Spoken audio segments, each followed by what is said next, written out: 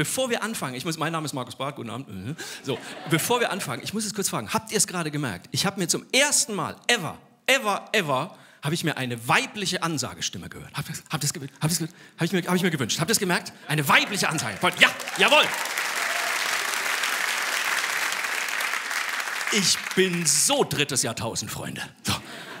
Nein, weil mir ist mal aufgefallen, dass immer Männer die Ansagen machen. Habt ihr das mal gemerkt? Jede Show, jedes Sportevent, immer Männer. Jede verdammte Vorspeise beim perfekten Dinner wird von einem Mann angesagt. Ja.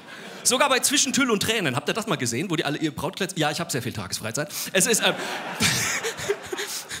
Sogar da, immer ein Mann, macht immer ein Mann die Ansagen. Als ob jemals ein Mann den Satz gesagt hätte, Silvia hat sich für eine transparente A-Linie mit Tattoo-Spitze entschieden. Niemals! Niemals! Deswegen habe ich gesagt, nein, ich möchte eine Frau, die die Ansage macht. So. Denn ich finde es ein ganz wichtiges Zeichen für die Gleichberechtigung, dass eine Frau eine drei Sekunden Ansage macht,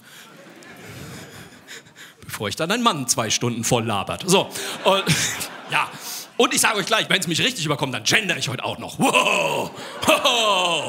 Friedrich Merz has left the building. Ich verstehe ich versteh diese ganze Diskussion nicht, ganz ehrlich. Es ist, es so, ich habe das jetzt schon ein paar Mal gemacht mit dem Gendern. Ich muss sagen, den Leuten geht es fantastisch, die das gehört haben. Sind alle noch am Leben. Mir ist nicht der Pimmel abgefallen. Es geht diese Angespanntheit, ich verstehe das nicht mehr. Und ich muss ehrlich sagen, ich meine, es geht nur darum, alle anzusprechen. Es geht nur um Sichtbarkeit, es geht nur darum, alle einzubeziehen. Mehr ist es nicht tatsächlich. Und ganz ehrlich, ich bin mir selber noch gar nicht sicher, ob das mit dem Gendern wirklich der Weisheit letzter Schluss ist. Ich weiß es nicht. Ich mache es jetzt aber trotzdem. Ich versuche es mir anzugewöhnen, weil ich mal gehört habe. Immer wenn man gendert, explodiert irgendwo in Bayern ein CSUler der Trachtenhut. Das, ähm, ja. Das wäre es mir wert. Verzeihung, CSUler in. So. Man muss ein bisschen aufpassen, oder? Es ist wirklich sehr aufgeladene Diskussionen momentan im Land, sehr aufgeladenes Kommunikationslevel im Land, finde ich. Man muss sehr aufpassen, dass man nicht selber so ein Wutbürger wird, ja, so ein, so ein Schnappatmungsschorsch. Ich merke das an mir selber, das geht ganz schnell.